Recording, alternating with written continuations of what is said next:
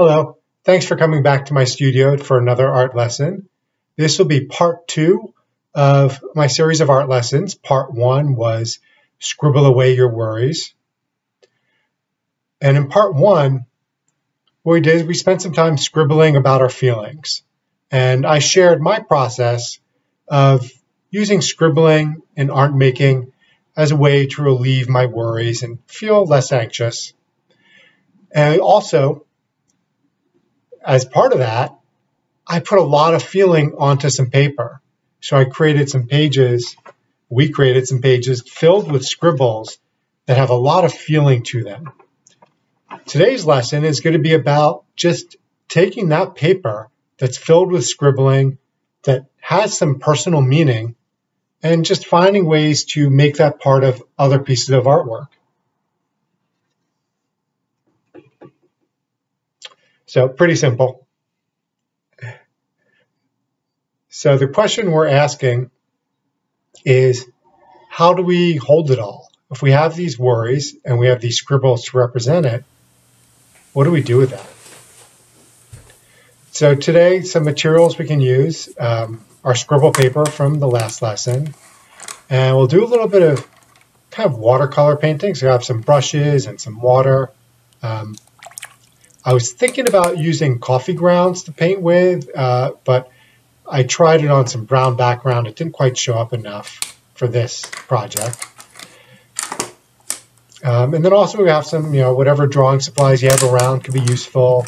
Pair of scissors, something to tape or glue with. And today I'm going to use paper bag as my canvas. So I'm just going to cut out a nice rectangle from some paper bag. And you can use anything uh, to draw on, any sort of paper. Uh, old folders are good, paper bags are great. I wanted a nice warm background to contrast with the crazy bright colored scribbles.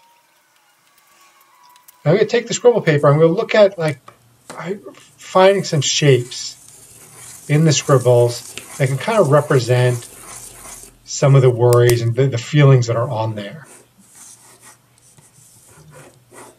And I tried doing this, drawing a pentagon with a pen. That's a five-sided shape.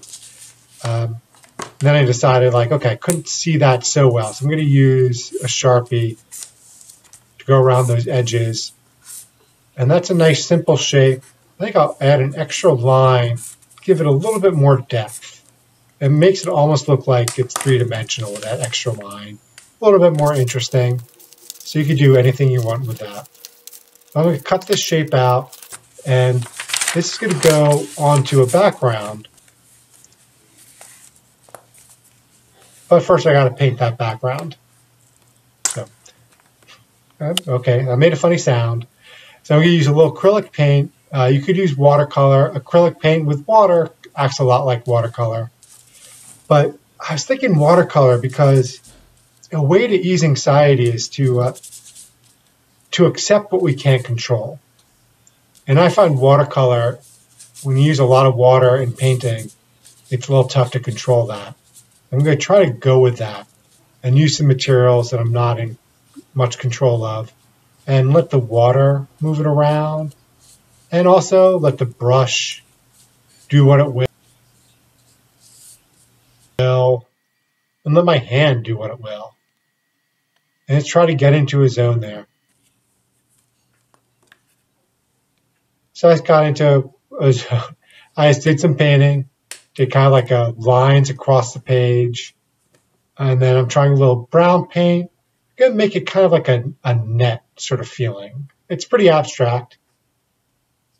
But you can do this, again, like while listening to music or even, you know, I like to listen to podcasts or you can listen to a book on tape maybe you have some reading to do and you can listen to a book on tape while you do some painting.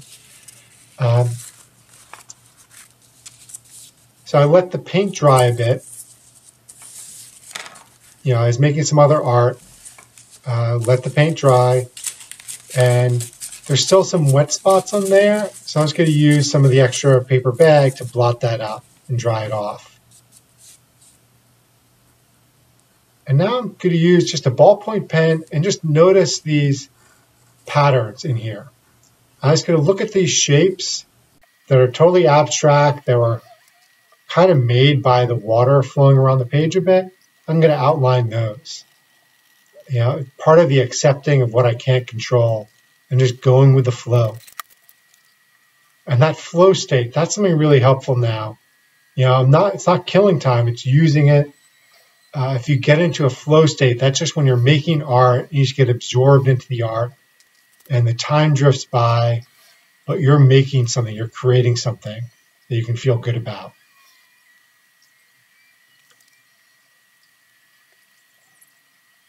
So I spent some time on this, just finding the details, letting the shapes emerge. This is just some art that just exists.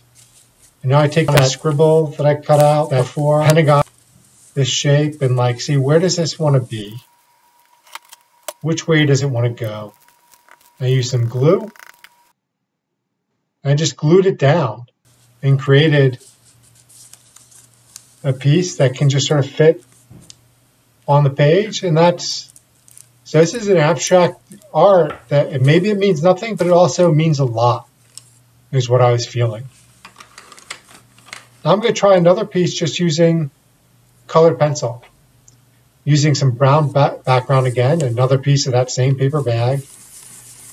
And what else can catch that anxiety is, yeah, maybe some spiral. Just do a little spiral drawing and it's kind of a ripple. And that it feels good. That's nice. I'll do a bunch of these spirals using these warm colors a little red a little pink I'll fill up the page with that and then and then I'll color in I made lots of other shapes by those scribbles overlapping so now I'm coloring all that in as creating a, a different abstract design, but it has that it has that calming effect. This is this is a calm process. And that'll be a nice contrast for when I take some uh, my scribble and add it in there. All right, so I'll use this shape. We always have some jagged edges and some weird little triangles in it. And this time I'm going to, I'm going to, I'll tape it down. I use some scotch tape, which also has a nice shine to it, so you get a little texture. And you can experiment with all different ways of attaching one piece to another. Know, whatever materials you have around the house, you can use that. You can make art out of it, out of anything. I want to make sure it stays now. I'm going to tape it down on the top. You tape it on the bottom. You know, if you tape it too tight, it bends the paper a little bit, which is also fine. I'll tape each side down, and I'm making the tape extra long because part of the art is that shininess of the tape. So this is being pretty random, pretty abstract. but I'm making some art out of that. So that's one way of doing abstract art using the scribbles and incorporating that and making some juxtaposition. Another way is I'm going to try using a uh, regular composition pad, which is something I learned from Lynda Barry, who is a genuine genius. And I'm going to start off using some pencil. And what I'm going to do is kind of a cartoon approach, you know, something also inspired by Lynda Barry, and tell a little bit of a story you know, about one way that you know that I'm spending time now. And something I'm doing is cleaning. So I'm going to draw a picture of myself, cartoon picture, and I'm starting off with the shapes, shapes of my body, and you know I'm going to use eraser and redo what I need to redo. I'm going to look at my hand and look at my arm and notice the shapes of my body parts, notice the shape of the uh, the vacuum cleaner that I use. And you can look in a mirror, look at a vacuum, or you can just do something, you know, you look at a favorite cartoon and copy a cartoonist style. I'm just making the shapes of my arm, of my hand, and I'm vacuuming and I'm spraying cleaner around. I don't actually do that at the same time, but this gives a look of me doing a lot of cleaning. And yeah, it's tough to get that shape of the arm and the way it comes out and the shape of the hand. So I'm just going to keep, you know, drawing it and erasing it and redoing it till I get it sort of right, close enough. Now for this piece, I'm going to tear the scribble. Instead of cutting a shape, it's going to be more of a cloud. So I'm going to tear it and I'll just see, okay, is that fitting? Okay, no, I need to make that a little bit wider. Open that up a little bit more, put that in the corner. So it's like I'm spraying the, the cleaner and it's just battling away all that scribble anxiety. And you know, you feel better when you're cleaning the house and you're like, okay, this is going to be cleaner. And when it's cleaner, that's healthier, that's better for me. It's a nice way to contribute to the household. We all need to find ways to be useful you know, especially if you're stuck at home with family members. Um, you want to do nice things for each other. So part of my job is to do the cleaning. And maybe I'm vacuuming up some cleaning and yeah, I could try out different shapes like, okay, what if there's some kind of spiky marks? And that's kind of a, a method for showing emotion and action. Um, and I did the drawing in pencil, but now I want it to be in pen. I'm just using a ballpoint pen again here. You could use a better marker for this, but I'm just going to do it in ballpoint pen now that I've sketched it out the way I like. Go over those lines in the pen, and then I can erase the pencil marks. Clean that up a little bit. And then my head needs to be a little bit bigger, my hair a little bit darker, I'll redo some of that collage. Now I've got some scribble like vacuumed up into the, the vacuum cleaner cartridge.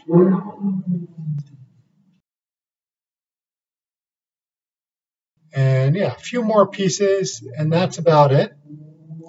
And now when I finish artwork, what I like to do is you clean up around it so that you can look at the artwork and see what it looks like when it's done. There it is, nice. A nice black background, I cleaned up everything around it so you could see it. You know, you don't want to stop making art and have a big mess. So I've done some experimenting with this cartooning approach. You know, and telling a story with my art. You know, so there's that question, how do we hold it all? And I put that little ball of, of scribble in there. And I also did a drawing of myself drawing. I do a lot of a lot of art making, as you see. So there's a picture of myself doing some drawing.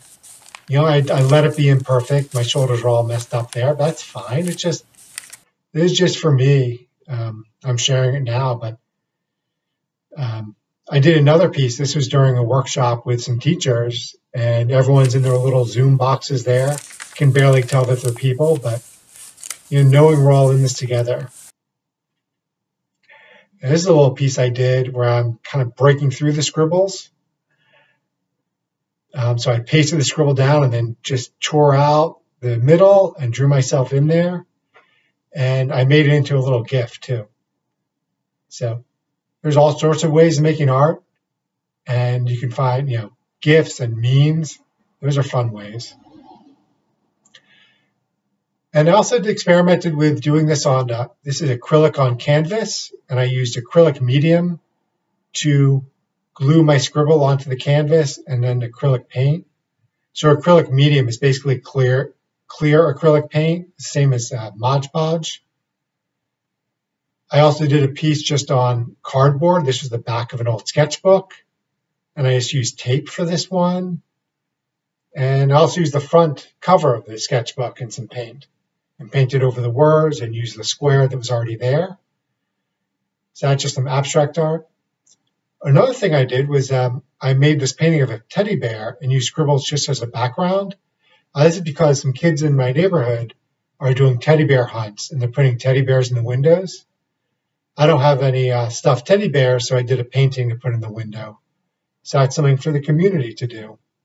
I just like the way the scribble looks as background. So I'm finding a variety of ways of using these scribbles in the artwork. And I'd love to see what you can figure out to do with it. So please try this out, experiment with it. Maybe you make something just like what I made, or maybe you make something totally different. And I showed you doing it a cartoon style and storytelling scribbling. And I showed you something much more abstract scribbling. And you can imagine there's a lot of stuff in between that um, that you could use your scribbles for. So be creative, keep making art. Please show me your examples, send it to me. Um, you can tag me on social media at the art don't stop, or you can email it to me. I'll put my information in the description section. And thank you for joining me. Thanks to Arts Ed Matters for helping me make this video and keep making art. I'll see you next time.